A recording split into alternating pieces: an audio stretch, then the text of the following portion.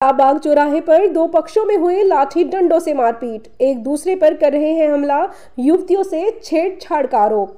धौलपुर ज़िले में मारपीट का वीडियो सोशल मीडिया पर वायरल हुआ है। वीडियो में लाठी डंडों के साथ महिला और पुरुष एक दूसरे को पीटते हुए नज़र आ रहे हैं। वीडियो के अंत में कुछ युवतियाँ छेड़छाड़ का आरोप भी लगा रही हैं।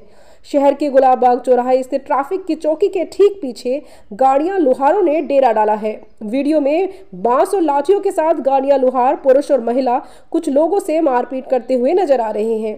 गाड़िया लुहार, मामले पर कुछ भी बोलने को तैयार नहीं है। वहीं वीडियो के अंत में लाठी और डंडे लेकर आ रही युवतियाँ छेड़छाड़ का आरोप लगा रही हैं। घटना को लेकर किसी भी पक्ष ने पुलिस में शिकायत नहीं दी है।